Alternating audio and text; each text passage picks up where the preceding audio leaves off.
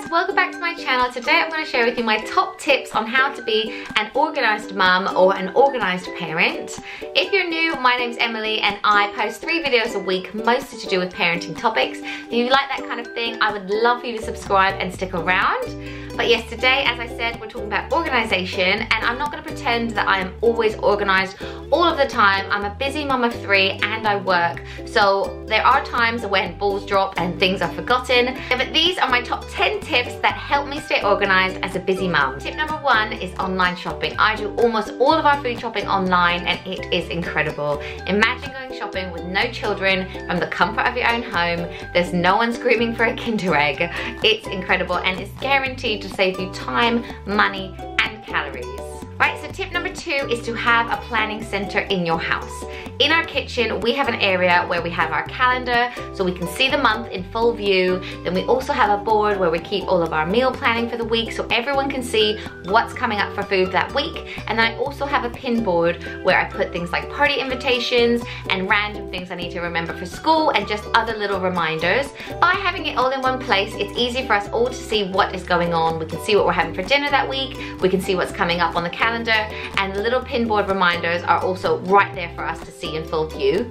Another tip to keep up with party invitations is when you get a party invitation and you RSVP, I like to write on the invitation that I have responded. And while we're talking about parties, I also like to keep unisex birthday cards in the house. I bulk buy them and then I also do it for gifts. If I see something on offer that would be good for a birthday party like a Spider-Man figure or something for a girl, I keep them in our garage so I'm never running out of birthday presents or having a last minute dash to the shops. Yeah, but if I ever completely forget a birthday present or run out, money in a card is a great option. My next tip is to meal plan. Now I will link a video down below that I made completely just on meal planning. By meal planning weekly or fortnightly, it will greatly cut down on the amount that you spend and also the amount of food that you waste. I have a meal planning board in our kitchen, so on a Sunday night I will write the menu for the week so I can get organized. And there are weeks that I don't do this, but on those weeks I feel like I am forever running to the shops or just feeding the kids stuff out of the freezer, which I really don't want to do. Another big tip tip is to use your slow cooker or your crock pot, especially for working mums.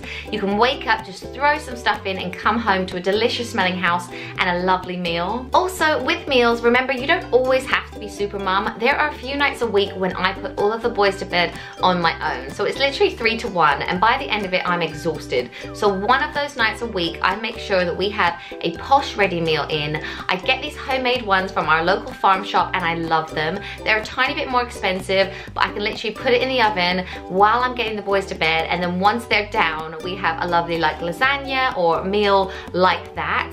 And there is barely any washing up. It's still a home cooked meal. I also normally have wine on that night as well. My next tip is a big one and that is to get everything ready the night before. And I always mention this in my evening routine videos, but it makes such a difference. And sometimes I just pull everything together while I'm making dinner or I'll get the boys' uniforms ready while they're in the bath you can kind of work it around things, but it makes such a difference if you just pile everything up for the next day. Football kits, uniform, shoes, jackets, it's all there laid out and you're ready to go in the morning. The next tip is to write lists, whether it be on your phone or actually on paper, whatever you prefer, write it all down. With three children, I find if I don't write things down straight away, I completely forget it. And there is something really satisfying about ticking off a list. Sometimes I like to write lists on my phone at the beginning of the day of things that I want to achieve or get done that day. And I also like to use the reminders app. And one really nice thing about it is that you can share it with family. So my husband and I have a list that we can share between each other. So if it's like get bread, get milk, someone can get it and then tick it off of the list and we don't even have to talk, we can just look at the list. The next tip is quite a new one for me and that is to get your children to help you. I think as mums of young children, we get in the habit of just picking up after them and just doing everything for them. It's almost easier and quicker sometimes.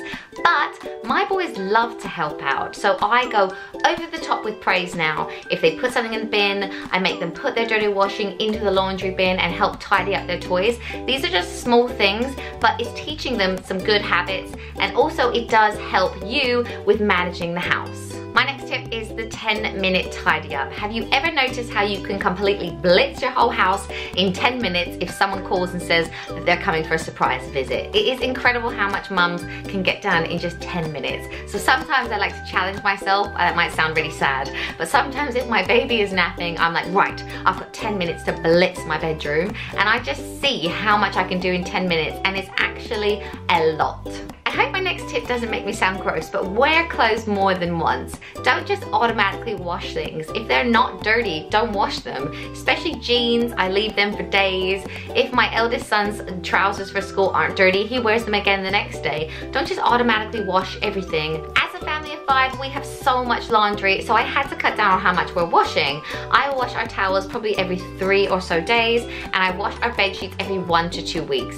In the winter, it is more towards the two weeks because if you think about it, we are putting our children to bed completely clean because they've just had a bath, and we're putting them in clean pajamas in the bed so you don't have to wash it every single week. I would almost wash pillowcases more often than the whole complete bed set. My next tip that makes me stay so organized is to have a cleaner. I always joke that when you become a mom, you either need to lower your standards for cleanliness or hire help.